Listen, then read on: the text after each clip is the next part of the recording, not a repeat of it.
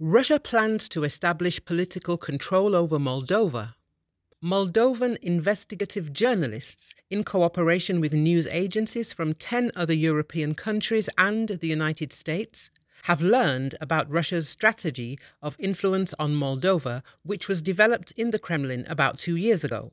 The document is called Strategic Goals of the Russian Federation in the Republic of Moldova and was drawn up in 2021. The investigators note that attempts to implement a number of its points in recent years have been seen in the public narrative of some Russia oriented political forces. The source who provided the plan to journalists is certain that the document is genuine. The strategy defines 2030 as the deadline for taking political control of Moldova and distancing it from its Western partners.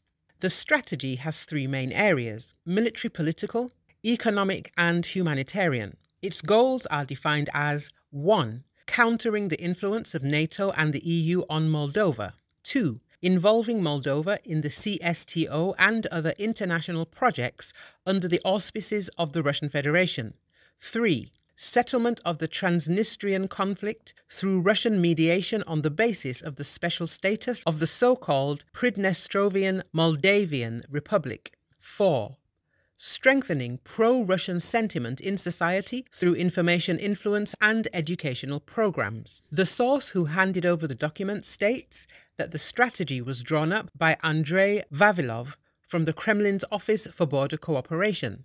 Vavilov is allegedly a graduate of the FSB Academy and had worked for the intelligence service for about 10 years before moving to the Kremlin.